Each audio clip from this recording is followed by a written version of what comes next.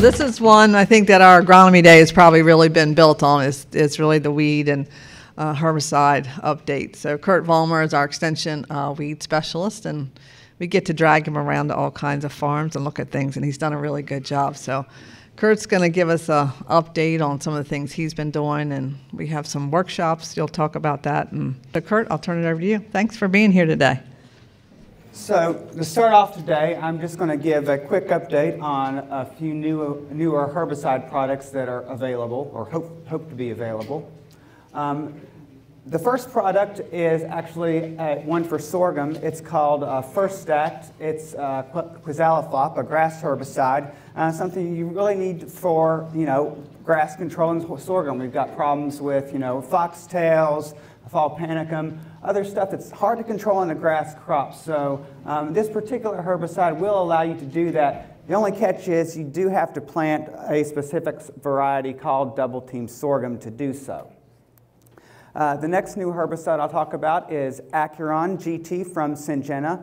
Uh, this is a mixture of dual uh, Callisto uh, bicyclopyrone as well as glyphosate, and it's labeled for post-emergence in glyphosate-tolerant corn. Uh, gives you that control with glyphosate along with you know, the residual control of the dual, the Callisto, and the bicyclopyrone.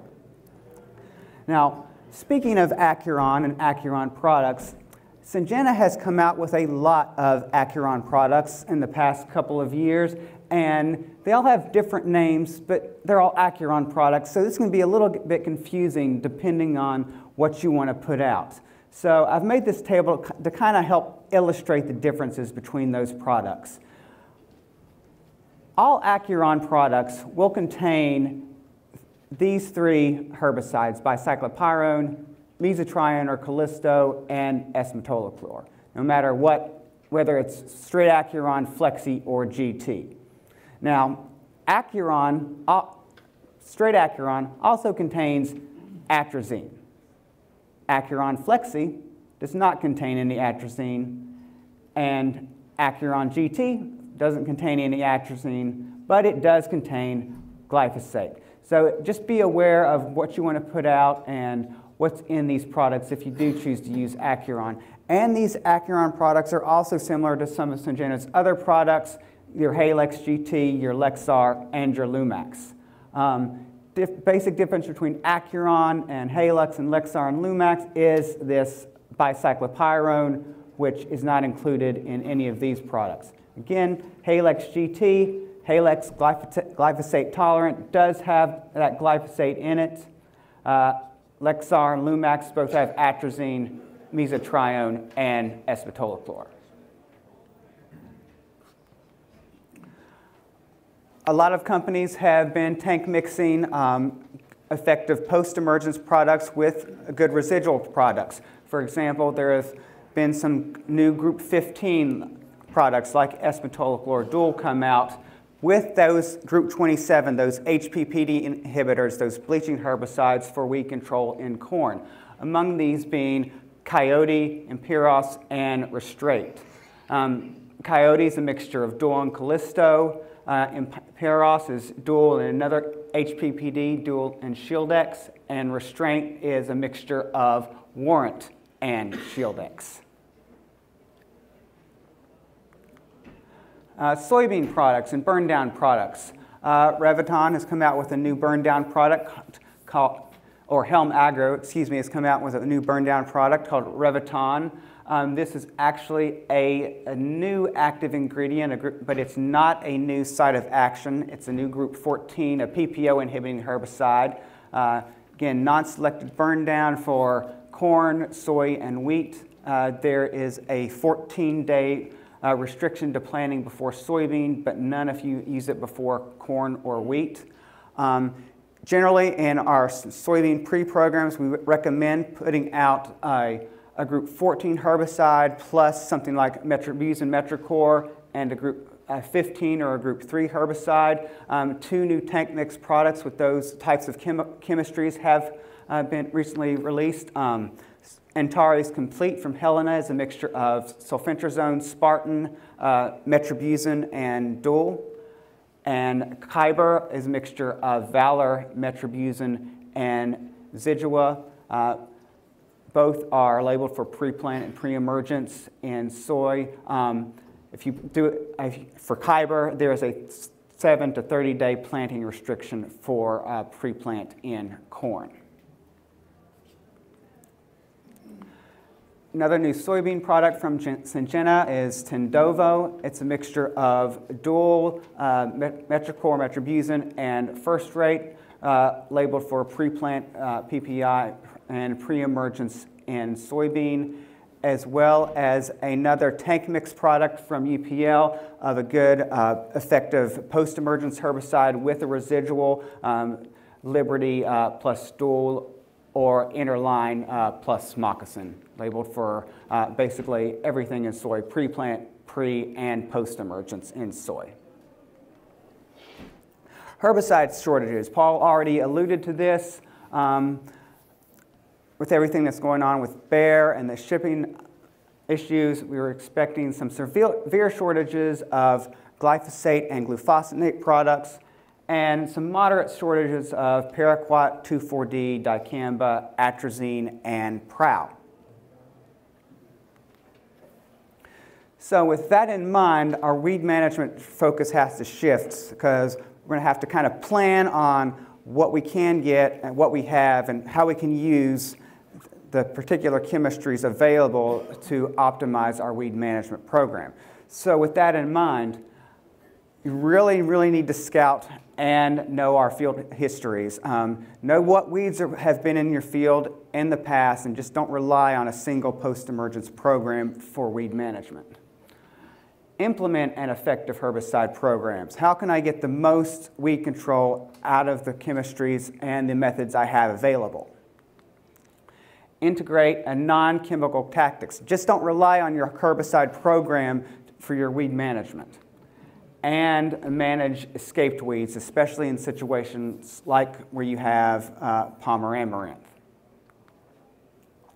So herbicide resistant weeds. Our four main driving species in Maryland still remain Italian ryegrass that's resistant to our group one, our grass herbicides, our group two, our ALS inhibiting herbicides, and some populations that I suspect may be resistant to glyphosate.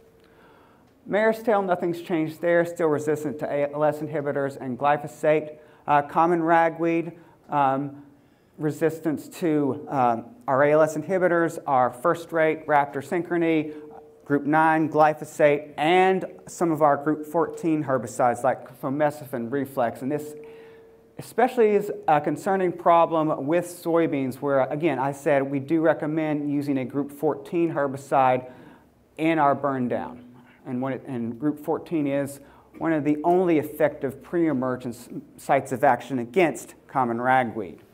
And then finally, there's Palmer amaranth, which thankfully we only still only have resistance to just our ALS inhibitors and glyphosate. Um, I've said this before, other, uh, in other parts of the country, uh, Palmer amaranth is resistant to at least eight to nine other sites of action, modes of action, and this includes things like glufosinate, uh, Callisto, 2,4-D, and Liberty. So uh, be sure that if you do have Palmer amaranth, um, you're getting rid of all of it in your weed control program.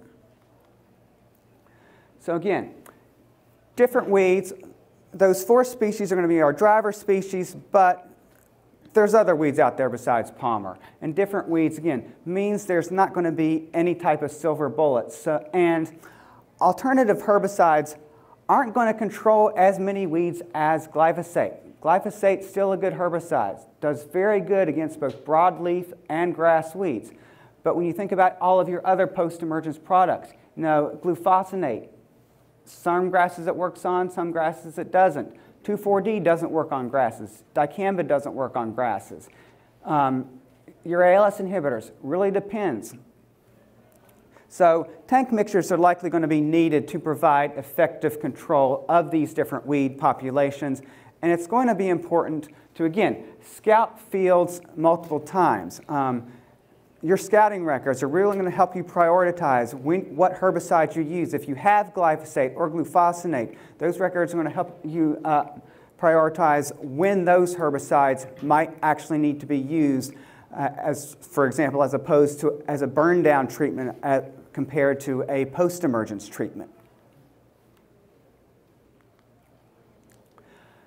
In general, you scout all the time when you check the health of your crop, but for weeds, you really need to focus on scouting um, one to two weeks before planting. Uh, what kind of winter annual weeds do you need to be controlling? Uh, is, is horseweed too big to control at that time?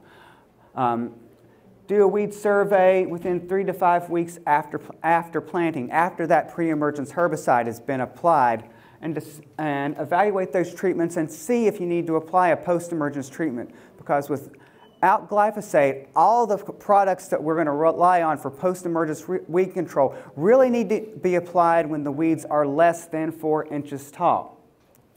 And then finally, do a weed survey of what's in your field before harvest, especially if you have uh, Palmer amaranth.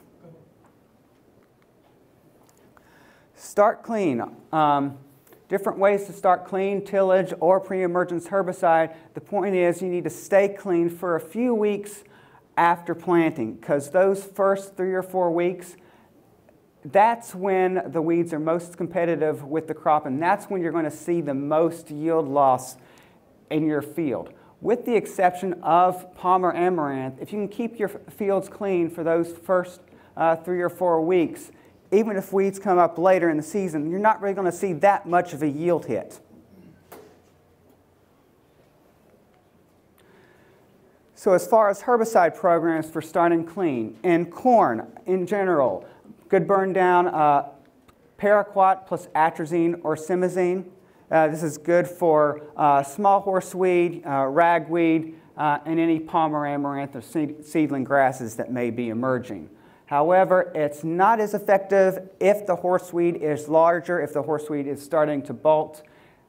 Uh, paraquat is a contact herbicide, and it's not really going to be that effective on perennial weeds. It'll burn them back, uh, but not really control them completely, as, and it's not that effective on Italian ryegrass.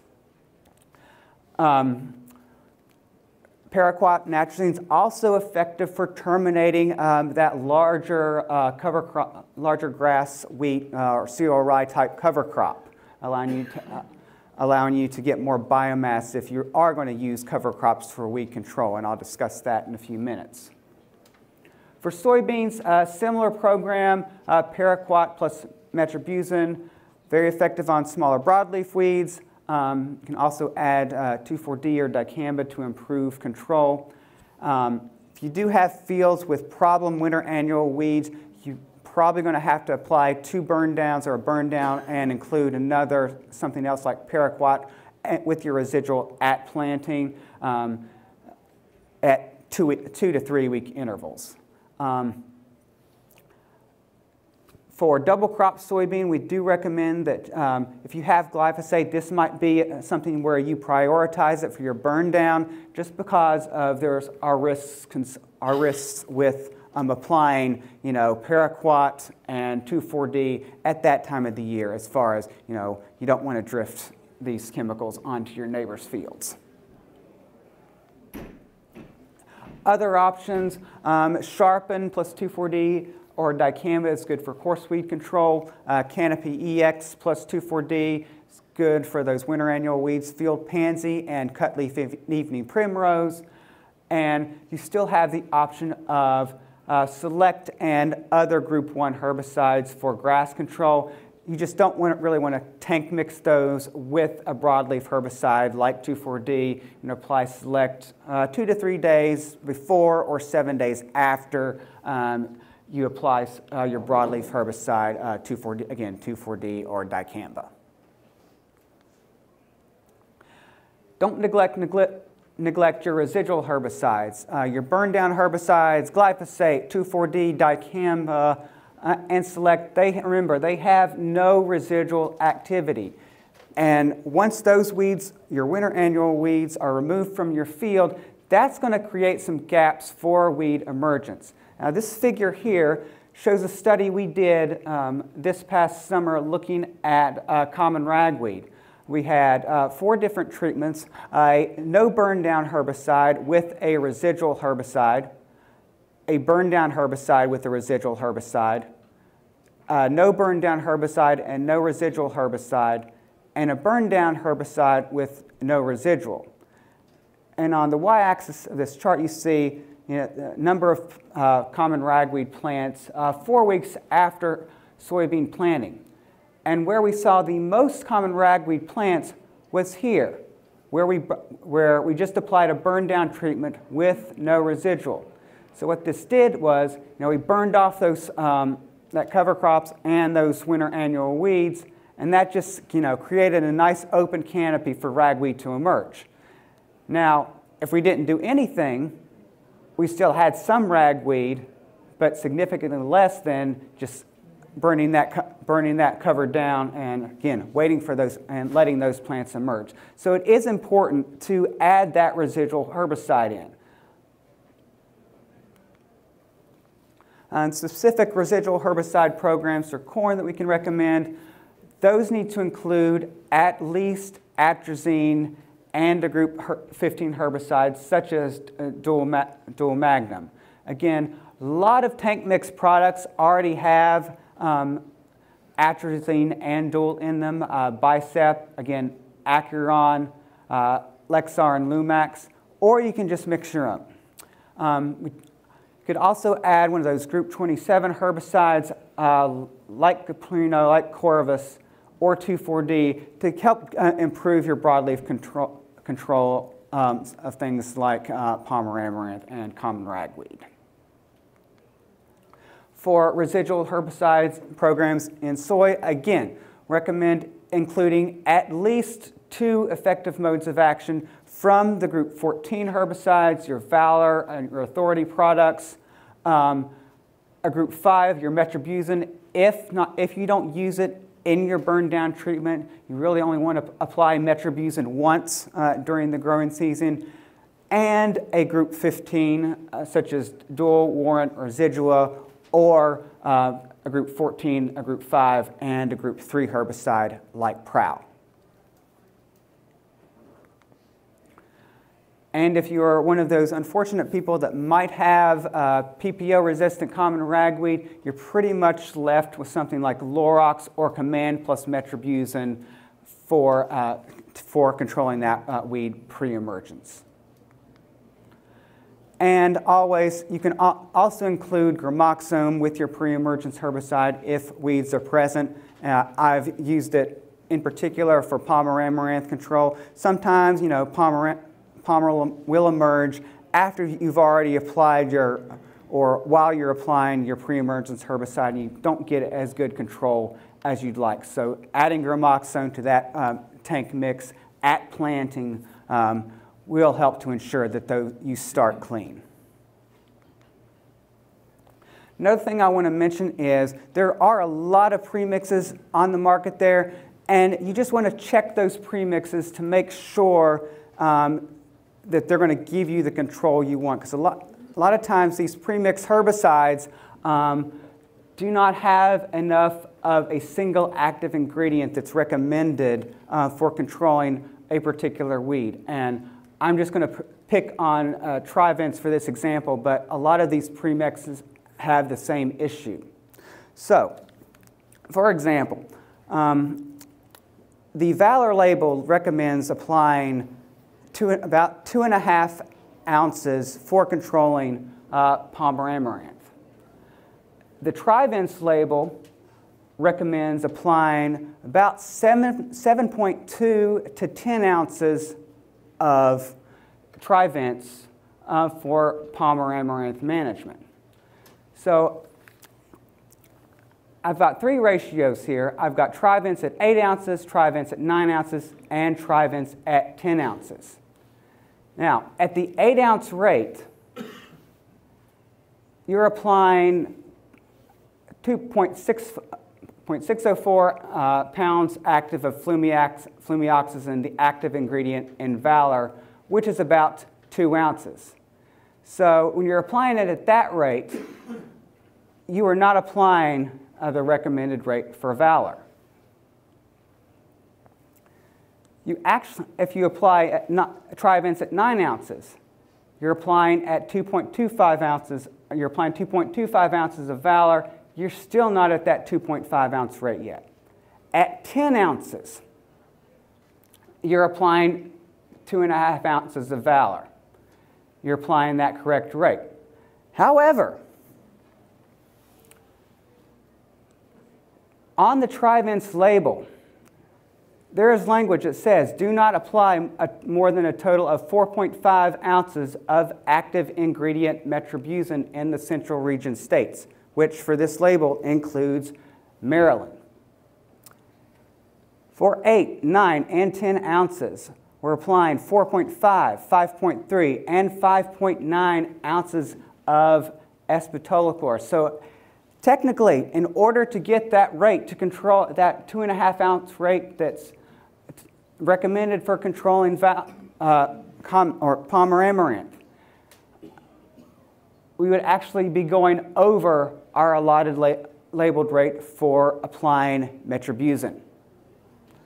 There's also language on the label that's next to the Palmer amaranth information that says a post-emergence herbicide, such as fomesafen or lactofen, may be needed following a pre-emergence application for adequate control of weeds with heavy pressure and resistant biotypes. So just be aware that when you apply these pre-emergence products, um, they may or may not uh, completely control um, your uh, Palmer amaranth or your weeds for the duration it takes for your crops to canopy and just be aware, to, again, to rely on a good pre-emergence program and an effective post-emergence program. Post-emergence programs for corn. Again, most of these products need to be sprayed when the weeds are susceptible less than four inches tall. Um, that V1 to V6 growth stages, that is when the crop needs to be weed free. So resist the urge to wait for a single flush of wheat for all of the weeds to come up before you spray. You want to keep your fields clean between that V1 and V6 stage. For post products, include your group 27 herbicides, your HPPD inhibitors, plus atrazine. You really need to include atrazine. It's going to be more effective uh, with those uh, bleaching herbicides.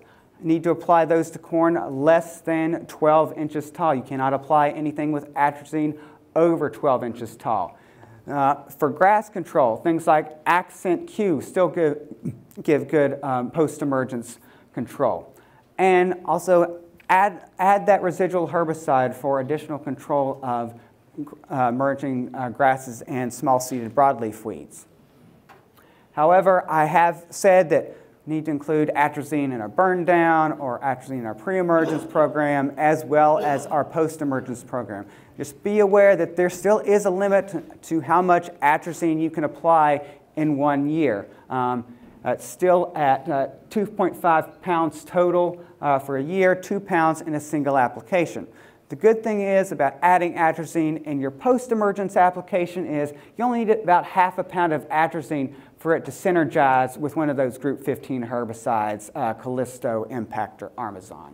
Um, if you're um, applying something like an Acuron product or a Lumax Lexar that's going to have uh, mesotrione and S-metolachlor, just be aware of what you've applied your, for your pre-program and what you've applied for your post-program because you are limited to uh, 0.24 pounds of uh, Callisto type product and about 3.71 pounds of a dual type product uh, per year. Post-herbicide programs and soybeans, again, going to be most effective when the weeds are less than four inches tall. That weed-free period is going to be between the V1 and the V5 uh, growth stages. Again, don't wait for all those weeds to emerge. You know, do your best to keep your uh, fields clean between uh, that V1 and V5 growth stages. Your post-emergence programs are really going to be trait dependent. Um, you have Xtend and Engenia for dicamba beans. Enlist uh, for 2,4-D. Uh, if you're just going to plant conventional beans, you still have the options of the burner herbicide, you know, uh, Cobra, Reflex, Ultra Blazer. Uh, Basagran is a good product for ragweed control. And for grasses, you still have your group 1 herbicide, your Assure, your Target, your Select, and Post herbicide. Just be aware again, do not uh, tank mix those with uh, your broadleaf herbicides. And especially with soybeans, uh, include again that group 15, that uh, dual residual warrant herbicide uh, with your post emergence treatments for residual control. Um, considerations uh, for post-emergence applications. We've got a lot of new technologies on the market. We have the Enlist system, and then we have the Xtend system. With the Enlist system, you can spray uh, Liberty, glyphosate, or 2,4-D over the top. With the Xtend system, you can spray um, dicamba, glyphosate, or Liberty over the top. Um, different cutoff dates for different herbicides. Um, the Enlist system, the 2,4-D system, has no cutoff date. Um, products registered for over-the-top applications of dicamba, uh, Tavium, XtendiMax, Engenia, still have that June 30th cutoff date. Um, another thing to note, uh, with these products, drift is a concern, so be, be sure you're using the correct nozzle size. Uh, nozzles are less prone to drift like your ultra coarse nozzles. Buffers. Buffers can be especially confusing, especially when it comes to the dicamba and 2,4-D products. How many of you have taken your required dicamba training yet? It's confusing, isn't it? Well, as far as dicamba is concerned, you have to have at least a 240 foot downwind buffer to sensitive crops. If you have sensitive crops all around you, you probably can't spray dicamba on your dicamba beans because that down, you never know when that down, where that downwind buffer is going to be. The winds, you could have a nice uh, uh, cornfield right where you're spraying downwind, but the wind could shift into a non-dicamba bean type field. So just be aware of where, if you have dicamba beans, be aware of where your buffer restriction is going to be. Again, dicamba can be a very tricky herbicide. If you're planning on planting dicamba beans, you might want to get with your neighbors and see if they're going to plant those beans as well. Because if anything else is around you that's not dicamba beans, there's a really there's a strong risk of you know unpleasantness if your herbicide were to drift on those fields. Now, with uh, 2,4-D uh, or Enlist products, there's still a buffer restriction, but that's only a 30 feet buffer restriction. And another thing about the dicamba uh, buffer restriction, that's a minimum 240 feet. It goes up to about 310 feet if you happen to have a uh, endangered species listed in the area.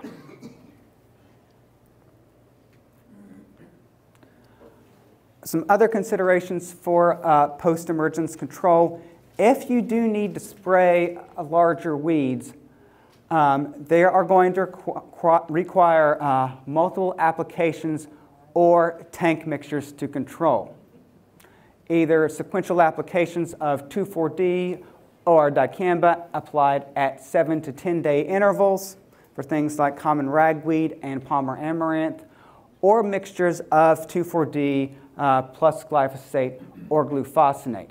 Uh, this was a study I did looking at uh, common ragweed control, uh, larger common ragweed control, ragweed that was either about 6 to 12 inches tall or about 14 to 18 inches tall. And I looked at different herbicide mixes, um, Roundup alone for a uh, glyphosate resistant common ragweed population, um, Enlist 1, 2,4-D, uh, Liberty alone, Roundup plus 2,4-D, Roundup plus Liberty, uh, 2,4-D plus Liberty, or a three-way tank mix of Roundup plus 2,4-D plus Liberty. And what we saw was, as far as control, when we sprayed our applications at the small, or the smaller weeds, I'll say, 6 to 12 inch weeds, Um, we got 95 to 100% control with our Enlist 1 uh, and our combinations of Roundup plus Enlist 1 and Roundup plus Liberty. However, when that ragweed grew larger to about 14 to 18 inches, we saw a significant decline in um, the level of control with those large weeds. So, it is possible to control uh, larger weeds with tank mixes. However, even tank mixes aren't going to overcome those issues when those weeds get too tall. And I do have a couple uh, fact sheets back on the table. We just published one about controlling uh, large palmer amaranth and common ragweed and corn and soybean. If you'd like one of those, uh, come up and see me, and I'll, and I'll be sure to get you one. And again, another thing, as weed size increases, uh, control, of course, will decrease with those herbicides. And the rates we use were not considered to be a lethal dose. Uh, lethal, um, the rates on the label are recommended um, for a specific weed size. You cannot go above the label rate. And if we're not applying a lethal dose, there is a, a stronger likelihood that you know, just spraying that sublethal dose is going to result in uh, greater herbicide resistant weeds. And as I said, we are very lucky that we only have Palmer that's resistant to uh, group 2 herbicides and glyphosate. We really need to um, conserve those effective modes of action that we already have. I want to talk about a little bit about optimizing glyphosate performance because again, it's going to be in short supply this year, so we want to make the most out of our money. So use the correct glyphosate rate based on formulation and weed size. In general, glyphosate products go from having about three pounds of the active ingredient of glyphosate to about five pounds. Now, in general, um,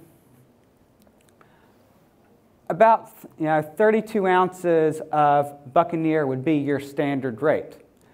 But if you have a glyphosate formulation with a higher load, such as GlyStar Plus or Touchdown, um, you really only need to apply 22 ounces or 20 ounces with the Touchdown High Tech type product to get the same effective rate. So just be aware of that. Don't just rely on all glyphosate products I'm going to apply 32 ounces an acre. If you have a, a higher load, you can apply less. If you have a lower load, you're going to have to apply more. Water quality. Um, do recommend adding ammonium sulfate um, before applying glyphosate to negate those hard water issues. Um, you can do this with most anything except dicamba. You cannot apply ammonium sulfate with a glyphosate and dicamba mixture. And also, um, some glyphosate products come fully loaded, uh, some not, some don't. So just uh, consult the label for additional adjuvants and tank mixtures that may be required. Spray coverage. Even with glyphosate, we still recommend that we apply this herbicide to small weeds, three to four inches weeds. Um, at, so you're going to have to use about, you know, only 10 to 15 gallons per acre on those small weeds. But you do have, will have to increase your spray volume to about 15 to 20 gallons per acre on large weeds. So again, smaller weeds going to help you save some herbicide. Environment, be aware with what's around you. If you're spraying glyphosate and you kick up and your tractor's kicking up a lot of dust, that dust is going to bind to those glyphosate particles and it's not going to be as effective. Avoid spraying glyphosate when the plants are stressed. Glyphosate's a systemic herbicide. It needs to move throughout the plant with all the, other, with all the water and other nutrients that are going to move throughout that plant. If the plants are stressed, none of that's going to be moving through the plant, and glyphosate's not going to be moving through the plant. There's also a 30 minute rain fast period, so you know, don't, apply, don't spray right before it rains. Optimizing glufosinate or Liberty performance. Time of the day. Very, very effective when spraying li Liberty. You can spray, if you spray Liberty when it's hot, about 50 plus degrees, sunny and humid, you're going to get more out of, more out of that herbicide. Uh, in general, spraying between the times of 10 a.m. and 2 p.m. And with Liberty, there is a longer rain fast period, about four hours compared to half hour with glyphosate. Spray coverage. Liberty is a contact herbicide, so you definitely need to spray these weeds when they're less than four inches tall.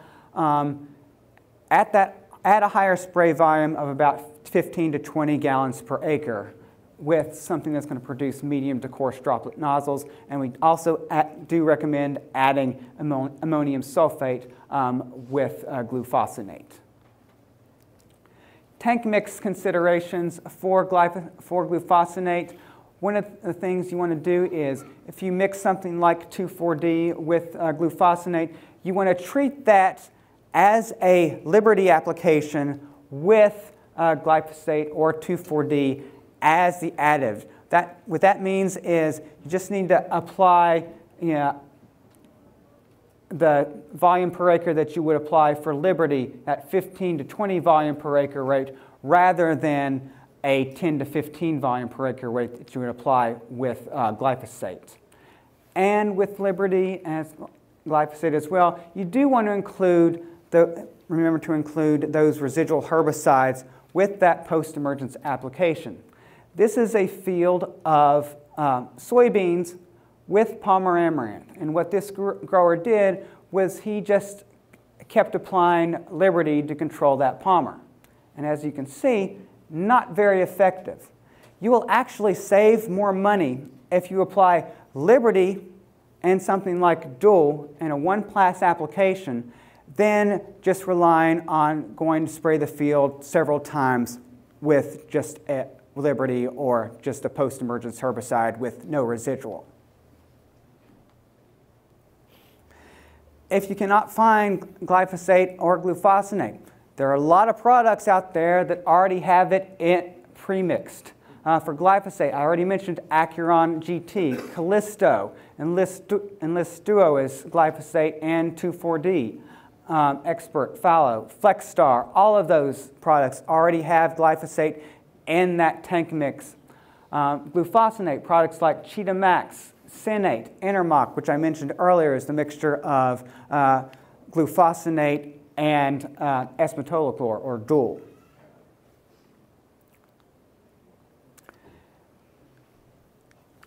Finally, uh, integrate non-chemical weed control tactics in, into your program. Um, crop rotation.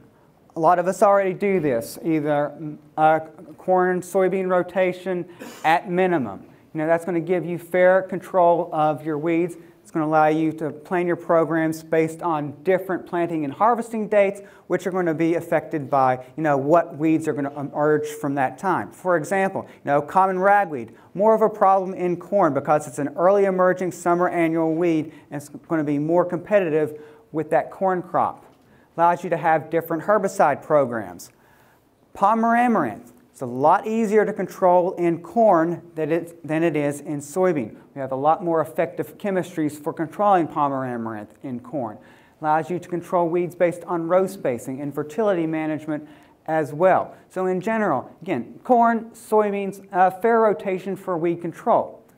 That rotation gets better if you add a corn uh, small grain that can be either a wheat cash crop or a small grain cover crop followed by a soybean rotation.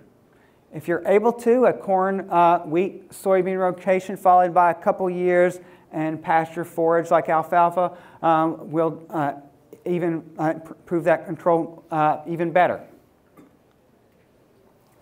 Another thing you want to do for um, uh, an integrated, from an integrated weed, weed, management standpoint is target the seeds. Um, Italian ryegrass, horseweed, common ragweed, and uh, Palmer amaranth don't emerge from very deep in the soil. Italian ryegrass, you know, the, up to the first half inch, horseweed 0.2 inches, common ragweed, larger seed, a little bit deeper from 2 inches, Palmer amaranth 1 to 2 inches. So if you uh, can find an effective way to bury these seeds or to prevent light from reaching the soil surface to stimulate germination, um, you're going to go a long way to uh, improving your weed control program. Now, one way to target the seeds is, of course, through tillage. Some people like to do it, some people don't. But the efficacy of any tillage operation is really going to depend on the species, the method, and the timing of tillage. Italian ryegrass. You know, you can use fall tillage to help bury, bury those seeds greater than four inches deep. However, any type of tillage operation now for Italian, Italian ryegrass is just going to be futile because all that Italian ryegrass has emerged and you're basically just going to turn over these clumps and move them elsewhere. For horseweed, uh, fall or spring disc, uh, chisel, or even a moldboard plow is going to be effective in burying those seeds. However, uh, any type of vertical tillage implements not going to be effective for those emerged plants. Um, common ragweed, um, something like moldboard plowing every four years or in, in, a row cultivation is going to be effective. Um, chisel, disc, any type of chisel, disc, rototilling is just going to simply uh, bring those seeds to the surface. Um, and the same thing with Palmer amaranth. In this figure here, we looked at the impact of tillage systems on Palmer amaranth emergence over three years. We did three types of tillage treatments with a pre-emergence herbicide and without a pre-emergence herbicide. We looked at spring tillage, either disking or rototilling, uh, no tillage, or a one-time fall board plow. And what we saw was when we didn't include a pre-emergence herbicide, these yellow bars, we saw a whole lot more Palmer amaranth plants emerge in those spring till treatments versus our no-till treatments and fall moldboard plow treatments. However, if we did apply a pre- pre-emergence herbicide, you know, it really, we really saw no significant differences in the amount of Palmer amaranth that emerging. Bottom line, for things like common ragweed and Palmer amaranth, if you are till tilling your fields, um, you actually are stimulating the growth of those weeds and stimulating the germination of those weeds. So you really want to, you know, kind of stick to that no-till uh, situation. Um, where you've got a lot of cover on the ground. Now, if you have a large populations of Palmer amaranth, as I said before, you know, a one-time fall moldboard plow just to, every four years just to bury that seed um, is going to be effective because that seed's not going to last very long in the soil seed bank, only about uh, three years. And once you've moldboard plowed, you can always um, you know, plant a cover crop on top of that um, to help get uh, your soil health back. Aside from tillage, um, keeping it no-till, you can increase sh shading by uh, planting a grass cover crop. Now, these grass cover crops, like cereal rye, are going to compete with those winter annual weeds. And if you optimize the biomass, uh, delay termination to about two to three weeks um, before planting. Um, you're going to get a lot of what we call lignified tissue, or basically a mulch layer of uh, cereal rye. Now, we do recommend for things like Palmer amaranth to include one of these, you know, heavy biomass producing crops like cereal rye as opposed to hairy vetch. Because once you terminate that cover crop, you still want to have that mulch layer on the ground. Since your legume crops like hairy vetch, clovers are mostly leaf tissue, once you kill them, they're going to desiccate and again open up that canopy for those weeds to emerge. For termination, I alluded to this earlier. Um, if you're going to use a cover crop to, in your weed management program, you really need to terminate it later. You can use gramoxone um, at the after the boot stage. This will optimize biomass production and still let you terminate that cover crop. If you are not going to, uh, if you just want to terminate your cover crop early, you can use Select or any other type of grass cover crop, or grass herbicide, excuse me. However, just be aware that terminating your cover crop early, like now or in a few weeks, is not going to provide you that summer annual weed suppression. Narrow row spacing, especially when it comes to soybeans. Again, these species are not very shade tolerant. Um, planting in 15 inch rows versus 30 inch rows is going to allow for quick, quicker canopy closure. And once that happens, you know, no, no sunlight reaching the soil surface, um, uh, less likelihood that those weeds are going to emerge. Another thing that we've seen with reduced uh, narrow row spacing is there is reduced palmer biomass and seed production. In this figure here, here we see Palmer amaranth from a soybean field planted in seven and a half inch rows. The middle one is our 15 inch rows, and this far end is our 30 inch rows. So even though we still had Palmer amaranth in this field, you see a lot less seed production from our seven and a half and our 15 inch rows compared to our 30 inch rows. And last but not least, uh, manage escapes. You know, follow up on your weed control programs. Uh, check uh, seven to 10 days after you sprayed your uh, pre-emergence program, your post-emergence program. And prevent seed movement, especially, especially, especially with Palmer amaranth. Escapes need to be hand pulled. Um, spraying a herbicide on this, on this plant late in the season. Not going to do anything to prevent seed production. Those seeds have already been produced. You're basically just wasting your money spraying this weed. Consider the, and consider the economics of infesting fields heavy, uh, with heavy infestations of uh, Palmer amaranth. Um, for example, this was a soybean field out in Dorchester County, and I challenge you to find enough soybeans in this field to get a good yield.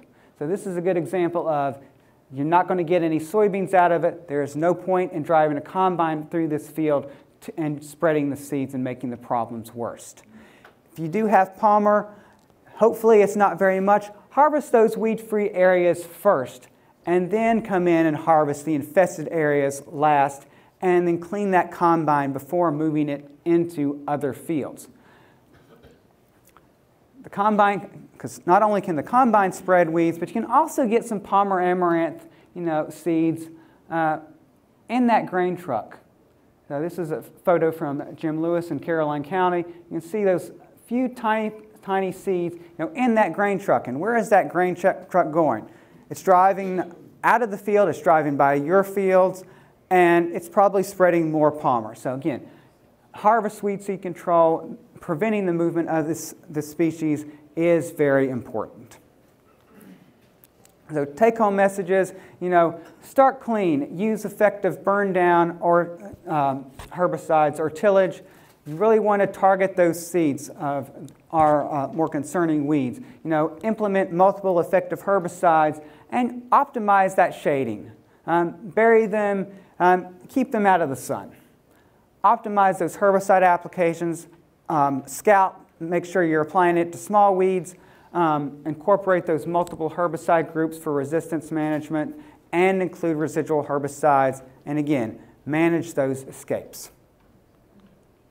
Now, a couple things I'm going to plug. We will be having an integrated weed, a series of integrated weed management workshops, um, both here and in Virginia.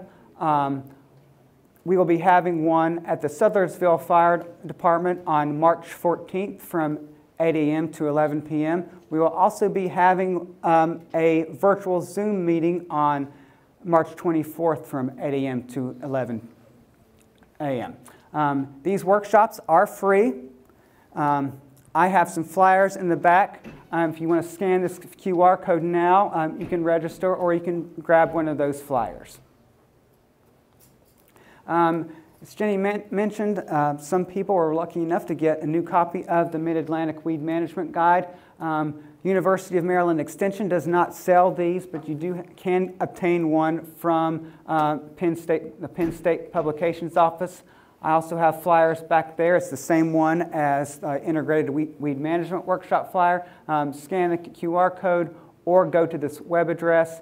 It's the same price as last year It's $10 for a hard copy, 18 or $8 for an enhanced PDF, or you can bundle the PDF and hard copy.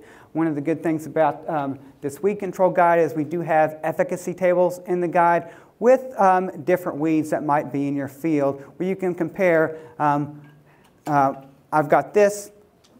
What's this? How effective is this herbicide going to be on it? Another thing we do have available from our extension website is our spray tank last check charts for both soybeans and corn.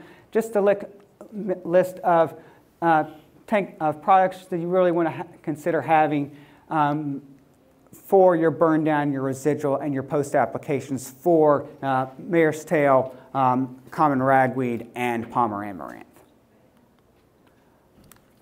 We also have these efficacy of weed management tactics tables. Um, this is similar to um, our herbicide efficacy tables in the weed management guides, except for this. Uh, this tells us how effective some of those different integrated weed management tactics like cover cropping and row spacing and harvest weed, weed, harvest weed seed control are going to be um, for weed management of specific species. Additional resources, um, the I Will Take Action website, good resources for, you know, looking at your tank mix products, making sure you're using multiple effective sites of action, and the Grow IWM website, constantly being updated with uh, new videos and as far as updates on our research for all these different integrated weed management tactics. Um, the Enlist Duo, XtendiMax, and Engenia labels, just be aware that there are, again, a lot of restrictions for those labels, and you do want to visit those websites before you plan to apply any of these herbicides. And with that, thank you for your time. I'll be happy to answer any questions. Good Morning, everybody. Um, I see a lot of faces out there that we do business with, either on the crop insurance platform or on the grain platform. And I just want you to know how grateful we are for your for your loyalty and for your customer uh, attention. Um, it's a it's a volatile time out there. It's interesting. I was standing in the back there, and there's uh, in that book of uh, the table of freebies is the Yearbook of Agriculture, 1988. Marketing U.S. Agriculture, Chapter 1, Marketing in a Changing World. Now, isn't that poignant? Um, but I want you to know the commitment that Nagels has to walk through these challenging times with you. Uh, we're, we're, partners in growing and marketing a crop uh, worldwide, and um, the, the the volatility that's out there, both in uh, the marketing, the uh, supply chain. Uh, there's a lot of risk. And one of the things that I want to encourage you to do is, is take advantage of your crop insurance guarantees that are at a, almost a record high this year, um, largely the result of, of increased economic uh, progress, but very lately um, what's going on in the Ukraine.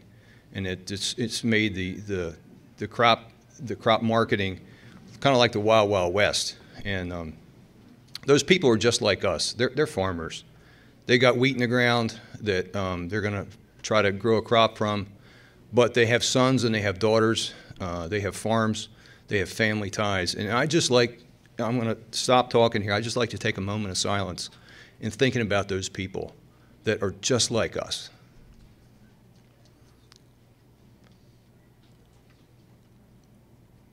I want you guys to be safe this spring in spite of all the challenges and the, the risk that's in, around. Just pay attention to what you're doing and be really careful because uh, everybody in this room is really valuable to everybody else. And we just thank you for your, your business and we thank you for your relationships. Thank you. Thanks, Jenny. Um, again, Darren Alice, MDE's uh, Animal Feeding Operations Division. So I oversee um, our permitting and inspection units. Many of you, or some of you, may have been um, had visits in the past from our inspectors, Dave Bramble or Richard Stewart or perhaps Brennan Green. Um, but basically, I came over uh, to MDE from MDA uh, with nutrient management. Um, had been there for 22 years. I had the area up in uh, Baltimore, Harford, and Cecil County, so uh, Howard Callahan's counterpart. So pretty well um, adaptive, you know, as far as uh, working with operators, um, you know, talking to groups. So um, again, a couple things I did want to bring up. We're, we're in closely uh, contact with MDA uh, for any uh, potential developments with uh, high path AI. So we're definitely uh, in regular communication, keeping tabs on that. So hopefully, you know, things will, will smooth out. But um, also, the other thing I did, well, a couple other things. Um, uh, the annual implementation reports. I know Howard will be speaking about that later on. But uh, if you have any questions that are AFO related, um, please contact our office. We can certainly uh, help you out. We have Sarah and Kate. Uh, they can certainly help you out with any questions specific for AFO information on those reports. And the other thing is, um, I wanted to mention is not really related to our program, but we do have an ag uh, scrap tire uh, program, another um, division of ours at MDE, and I do have some information on the display table I have in the back as far as some different dates. There's one in Elkton for those in Cecil County, and then there's one in Ridgely for Caroline, Kent, Queen Anne's, and Talbot counties. So if you have any um, old tires, ag-related, they will accept them on these dates. I again, it's on the display table. I have it in the back, so just be aware of that. Um, again, thank you. Um, if you have any questions, come see me. I'll be here for today, and uh, I hope uh, we can work together. So thank you. Thanks, Jenny. Uh, well, thanks, Jenny. You used my opening line. so most, most importantly, I am a farmer. Uh, so uh, uh see a lot of, uh, of, faces in the room here that I recognize. Uh, uh, you know, many years ago, as a as a beginning farmer, I recognized that there was a lot of decisions that were made that impacted whether I could make a living in this business or not. decisions made by people that were a long, long ways away from the end of my driveway. So it kind of gave me an, an, inspiration to get involved, uh, to be able to start showing up at meetings and speaking up at meetings and, and volunteering time to be a farmer leader. Uh, so for 10 years, I uh, represented uh, Maryland soybean farmers on the uh, National Board of Directors of the American Soybean Association. Uh, ended up being the national president for American Soybean Association in 2016. And now I, am uh, a part-time hat wearer doing the executive director work for the Mid-Atlantic Soybean Association, which, which Maryland soybean farmers are a part of. So I, I want, before uh, Jenny gives me the hook, I want to make sure that I give you the greatest opportunity that you're going to find today, and that's to get uh, five units of soybean seed for $210 thanks to the wonderful partnerships that we have with seed companies such as Asgrow, Pioneer, Hubner, uh, Channel, uh, and the um, uh, uh I, I see the the uh, um, uh, consultants, the the um, other company. So they're willing to to I'll give you a certificate for five units of soybean seed in exchange for becoming a new member or renewing your existing membership in the Soybean Association. That's a $210 dues. You get five units of soybean seed. We all know that five units of soybean seed is worth more than $210. And if you do it today while you're here, you'll get an entry uh, into a, a, a, drawing for a 55 quart lifetime uh, cooler uh, that we'll do a drawing uh, for here at the end of the, of the event today. Um, so I just came back from, uh, from Washington. I was in Washington for three days this week. I had a very good luncheon with Representative G.T. Thompson uh, on Wednesday. Uh, we had lunch together. He's the ranking Republican member of the House Agriculture Committee. Uh, so you know, we talked about what he's hoping that he's going to be able to do once he gets the gavel next year uh, to shepherd in the 2023 Farm Bill. So lots of, uh, as, as Mark Nagel, he, Mark's a member of our Mid-Atlantic Board of Directors, so as, as uh, Mark Sultenfuss uh, so correctly put it, there's a lot of volatility going on. Uh, rest assured that your farmer leaders and, and Farm Bureau, as well as the Soybean Association, the corn growers, all of us that are in that barnyard, what we call the barnyard together. You know, we're working to protect uh, farmers, to, to uh, express the voices of farmers, uh, working with, with all administrations, both here domestically as well as internationally, to get you access for American agricultural products into as many uh, markets as we, can around the world. So thank you for your contributions to what you do, and I'll be happy to talk to you and give you that certificate. Thanks much. Thank